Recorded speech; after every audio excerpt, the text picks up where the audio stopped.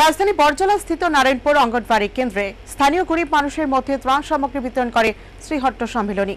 অসহায় বিপন্ন মানুষের জন্য এই সেবামূলক কর্মসূচিতে অংশ নেন বিধায়ক দিলীপ দাস সহ বিশিষ্টজনেরা।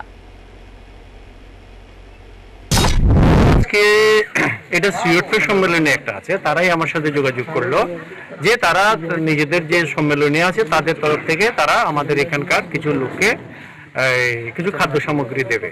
সেই অনুযায়ী এটার মধ্যে কি কি আছে এর প্যাকেটের মধ্যে? আমি তো প্যাকেটটা দেখে মধ্যে প্রতিটা প্যাকেট আমরা তো আজকে পঞ্চাশটা আহ, পরিবারের জন্য কিট বানিয়ে এনেছি এর মধ্যে।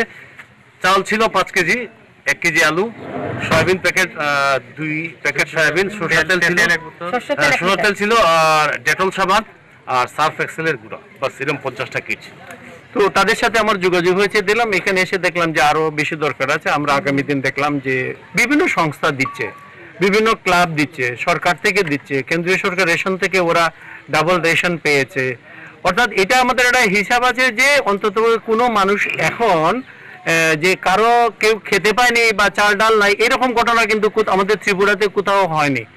এরপরেও যেহেতু অনেক বেশি মানুষ দিতে চাইছে, তখন আমরা খুঁজে খুঁজে বের করছি কোথায় দিলে ভালো হবে।